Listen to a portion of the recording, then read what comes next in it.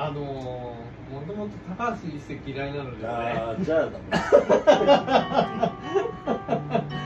れはもう帰って自分も根本好きじゃないんだけど高橋一生があの綾瀬はるかとやったドラマとかの主人公あの入れ替わっちゃう系なんで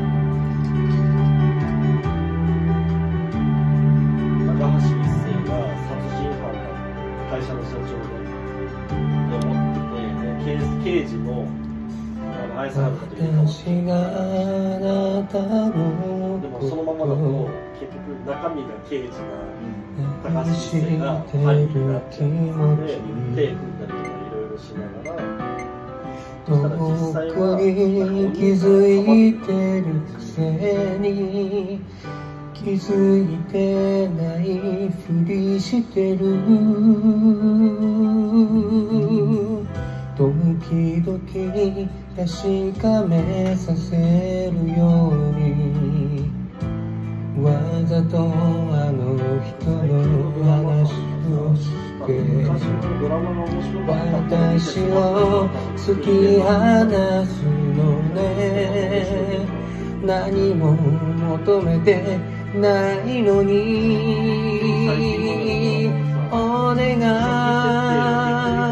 い私からあなたを好きな気持ち奪わないで何にもいらない。あなたはこれからもそのままでいいから。たいなんて。も言わない。言わないからいつものように私をからかって今はこの気持ちで歩け歩けてるの。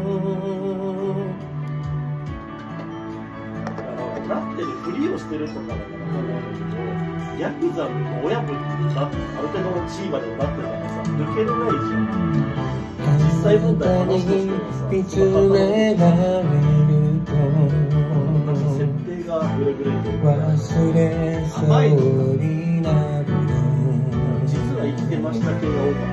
先のない恋ということ。愛されてはいないこと。理屈で分かってれるからね、最終的にさ、回回収しようがあるから大体最後に2話ぐらいでさこの人は違うこの人違うでこの人はどこかで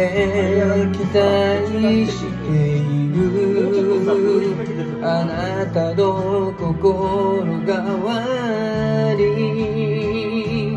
お願い。私からあなたを奪う気持ち忘れさせて。歪んだこの恋を貫ける勇気も力をあなたはあの人愛してる違うバージョンの違う視点から見るから目を覚まし実てここから抜け出したい。これ以上私を。決めないででこっちはそれを霊能じゃなくて頭がすごいいい人で全部分かった上で泳がせて一緒に操作してるふりして最終的にこの人を追い詰めるみたいな。でそれが最終回のところで全部回収した上でその後半のドラマはそれを科学的にというかこの人とこの人助手メインでなんかあの最近ありがちな最初にハンデを移しておいて解決するパターンの方がどうして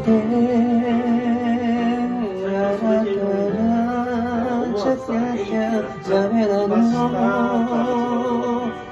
ダメなんだろう一人きりじゃ乗り越えられる夜あなたの足跡はどこにもしないのにそれでもあなただけ待ってる待てるからつものような結末が見えても今はこの気持ちで歩きたい。